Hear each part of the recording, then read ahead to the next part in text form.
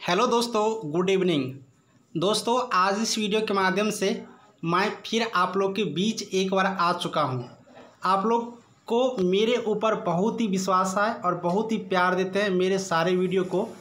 और आप लोग के बीच मैं इस वीडियो के माध्यम से एन एम आठ हज़ार आठ सौ तिरपन का जो मेरिट लिस्ट होता है, उसके रिगार्डिंग पूरा डिटेल्स में हम यहाँ पर बात करेंगे। कल हम एक वीडियो अपलोड किए थे कि एन एम आठ हज़ार आठ सौ तिरपन का रिज़ल्ट आने का संभावित डेट है आज। लेकिन रिज़ल्ट नहीं आया। बहुत सारे कैंडिडेट ऐसे हैं जो मुझे पर्सनल मैसेज करते थे, कॉल करते थे व्हाट्सएप पर मैसेज करते थे। पूरा परेशान था रिज़ल्ट के रिगार्डिंग। लेकिन रिज़ल्ट कल के डेट में आखिरी रात तक नहीं आया। चूँकि मैं बता दूँ दोस्तों, जब एएनएम का फ़र्स्ट बार रिज़ल्ट आया था डॉक्यूमेंट वेरिफिकेशन के लिए तो आप लोग को शायद याद होगा, ग्यारह बजे रात के आसपास रिज़ल्ट आया था। हम वीडियो बनाए थे, उस रात बारह बजे अपलोड किए थे, ग्यारह बजे रात। याद करिए, रात को रिज़ल्ट आया था, दस और ग्यारह के बीच में आया था। तो कल हम पूरे रात तक वेट किए, बारह बजे तक वेट किए, जो जानकारी हमको मिला था, उसके रिगार्डिंग हम अपडेट दिए थे। चलिए, सारी बात को हम विस्तार में करते हैं। क्यों नहीं रिज़ल्ट आया, उसका भी रीज़न बताएँगे। कब रिज़ल्ट आएगा, वो भी हम आपको एक संभावित डेट बताएँगे। संभावित डेट किस लिए बताएँगे, वो भी जानकारी देंगे। और जैसे कि हमने आपको दिखा रहे हैं, कम मार्क्स वाला का भी होगा रिज़ल्ट ऐसा मैं इसलिए कह रहा हूँ कि एक जो नोटिस अभी जारी किया है बिहार स्वास्थ्य विभाग, उसके रिगार्डिंग अब पूरे डिटेल्स जानकारी हम लेते हैं। तो चलिए, सबसे पहले हम आपको जानकारी एएनएम रिज़ल्ट के रिगार्डिंग देते हैं। फिर कम मार्क्स वाले को कैंडिडेटों को कैसे रिज़ल्ट होगा, वो जानकारी क्लियर करेंगे। दोस्तों, बता दूँ कि आपको हम, कि आप लोग स्वास्थ्य विभाग के वेबसाइट पर पूरे दिन अपडेट रहे, कल के डेट में, जैसे कि हम जानकारी दिए थे, लेकिन रिज़ल्ट नहीं आया। रिज़ल्ट के लिए मेरिट लिस्ट यानी कि मेरिट लिस्ट आना है। और मेरिट लिस्ट पूर्ण रूप से बनकर तैयार है। अगर आप लोग को हम कई वीडियो में जानकारी दिए थे, आप लोग खुद भी राज्य स्वास्थ्य समिति बिहार के ऑफिशियल वेबसाइट पर मोबाइल नंबर निकाल करके या फिर खुद ऑफ़िस विज़िट करके वहाँ से जानकारी पूछ सकते हैं। सबसे पहली बात मैं दोस्तों आप लोग को ये कहूँगा कि आपने मेरे वीडियो को देखते हैं, प्यार देते हैं, बहुत अच्छी बात है। लेकिन आप लोग का, आप ही लोगों में से कुछ ऐसे भी स्टूडेंट हैं जो कमेंट करते हैं, वो कमेंट पढ़ने लायक नहीं रहता है। यार, अगर आपको वीडियो अच्छा नहीं लग रहा है तो वीडियो मत देखा कीजिए। कमेंट गलत कमेंट करने से मुझे क्या इफ़ेक्ट पड़ेगा? कोई इफ़ेक्ट नहीं पड़ेगा। कुछ इफ़ेक्ट नहीं पड़ता है। अगर आप गलत कमेंट लिखते हो, कुछ इफ़ेक्ट नहीं पड़ता है। ये बात समझ लीजिए। मैं जितना सटीक जानकारी देता हूँ, आपको शायद नहीं पता कि बिहार स्वास्थ्य विभाग से रिलेटेड यूट्यूब पर कोई उतना सटीक जानकारी नहीं देगा। कितना वीडियो मैं अपलोड कर चुका हूँ, सिर्फ़ बिहार स्वास्थ्य विभाग से रिलेटेड, देख लीजिए ऑफिशियल जानकारी अपडेट देता हूँ सबसे पहले। तो जो भी मेरे प्यारे दोस्त हो, मुझे वीडियो देखते हो, आप लोग से मैं कहूँगा कि वैसा कमेंट मत करिए। मैं आप लोग के चलते ही ग्रुप में मैसेज भेजने का जो अलाउ होता है, वो बंद कर रखा हूँ। अभद्र आप लोग व्यवहार कर रहे हो। यहाँ से एक बार ब्लॉक कर देने पर आप लोग कभी कमेंट नहीं कर सकते हो, ना ही कुछ पूछ सकते हो। तो आप लोग को जैसा लगे कीजिए मैं तो इतना ही कहूँगा कि आप लोग मेरे छोटे भाई बहन हो। कोई भी स्टूडेंट ऐसे नहीं हो जिसे मैं अपनी तरह से नहीं मानता हूँ, इसलिए गलत कमेंट नहीं करेंगे। जानकारी, कल का बात करता हूँ मैं ए का रिज़ल्ट कल क्यों नहीं आया? देखिए, कल रिज़ल्ट आना था, ये तय था, जो जानकारी हमको मिला हुआ था, वो जानकारी हम आपको सवेरे ही दिए थे। आठ से नौ के बीच में अपलोड किए थे वीडियो कि आज रिज़ल्ट आ जाएगा, लेकिन देर रात तक रिज़ल्ट नहीं आया और आज भी रिज़ल्ट नहीं आया। आज पूरे दिन रिज़ल्ट नहीं आया। अब क्या बात है? वो जानकारी हम फिर से प्राप्त किए, वो हम आपको अभी बता रहा हूँ। बात यह है कि टेक्निकल इशू आ चुका है। टेक्निकल इशू आने के कारण यहाँ पर जो फाइनल मेरिट लिस्ट है, वो कंप्लीट यहाँ पर होने के बावजूद भी इशू नहीं किया जा रहा है। अब ये टेक्निकल इशू है। अब डिपार्टमेंट है। अब डिपार्टमेंट मैं एक यूट्यूबर हूँ तो एक यूट्यूबर को हर चीज़ नहीं बता सकता है। अब मेरा कुछ वहाँ पे है जानकारी प्राप्त करने का तरीका है, कुछ मैं जानकारी प्राप्त कर लेता हूँ। तो उसके माध्यम से बस एक शॉर्ट जानकारी मिला है कि टेक्निकल इशू की वजह से रिज़ल्ट जारी नहीं हुआ है। अब टेक्निकल इशू है, अब टेक्निकल इशू सॉल्व होने में कुछ टाइम तो लगेगा, दो दिन, चार दिन, पाँच दिन, जो भी लगे, ये डिपार्टमेंट की काम है। अब वो टेक्निकल इशू खत्म होगा तो ही आप लोग का रिज़ल्ट आएगा।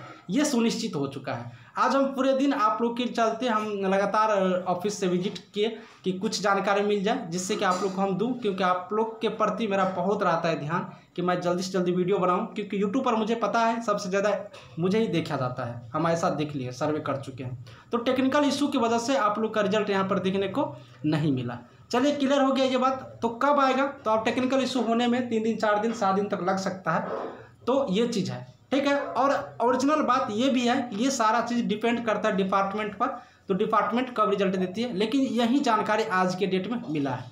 अब जो जानकारी मिलती है, वो जानकारी हम आपको दे देते हैं। ऐसा नहीं कि हम डिपार्टमेंट में बैठे हुए हैं। उस ऑफ़िस में मेरा कोई जॉब नहीं है, मैं किसी और ऑफ़िस में जॉब करता हूँ, इसलिए मुझे वो जानकारी नहीं है। जो जानकारी मिलती है, वो जानकारी आपको हम शेयर करते हैं।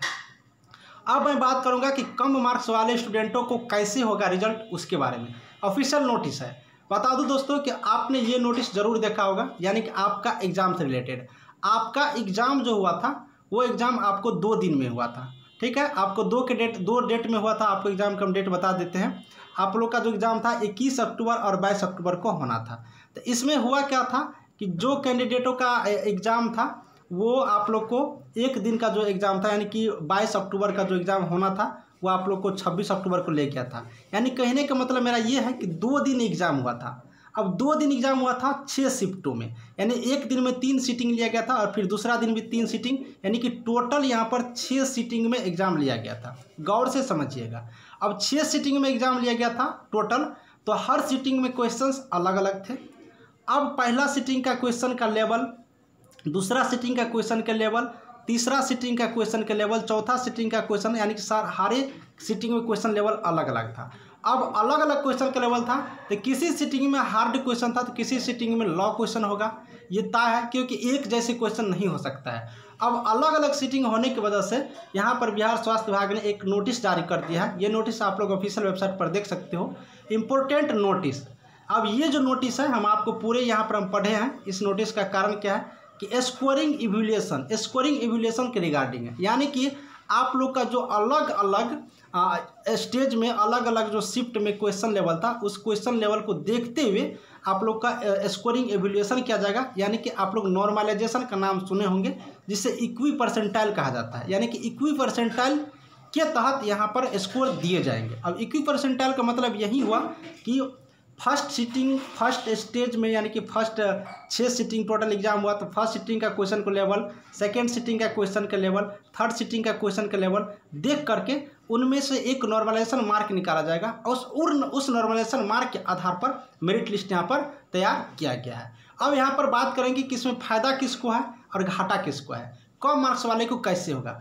यहाँ पर एक एग्ज़ाम्पल दूँगा कि मान लेते हैं कि फ़र्स्ट सीटिंग में, यानी कि फ़र्स्ट जो एग्ज़ाम था उसमें मान लीजिए हार्ड क्वेश्चन था। याद देखिएगा, गौर से देखिएगा हार्ड क्वेश्चन था। दूसरा सीटिंग जो हुआ था, उसमें मान लेते हैं कि मीडियम क्वेश्चन था। मीडियम लेवल का मीडियम लेवल का क्वेश्चन यहाँ पर देखने को मिला मीडियम लेवल का। तीसरा पेपर था, तीसरा सीटिंग का पेपर उसमें मान लेते हैं कि इजी लेवल का क्वेश्चन आ गया, बिल्कुल इजी लेवल का आ गया। अब चौथा सीटिंग का, उसमें मान लेते हैं हार्ड भी था और इजी भी था। इस तरह से क्वेश्चन सेट हुआ होगा। सारे क्वेश्चन तो एक जैसे होगा नहीं। अब यहाँ पर जो बच्चे हार्ड क्वेश्चन सोल्व किए, उसका क्या है कि वो मान लेते हैं कि यहाँ पर हंड्रेड क्वेश्चन था सॉरी एट्टी क्वेश्चन था, आप लोग को मालूम ही होगा कि टोटल एट्टी क्वेश्चन था।